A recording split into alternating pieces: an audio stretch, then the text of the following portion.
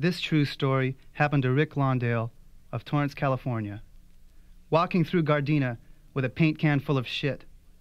Why should I pay this month's rent when the landlady won't fix the toilet and I have to scoop my own shit into an old paint can, carry it down the alley to the laundromat's big green dumpster, and see these middle class Japanese drive by, thinking to themselves, Oh, there's a nice boy going to paint his house.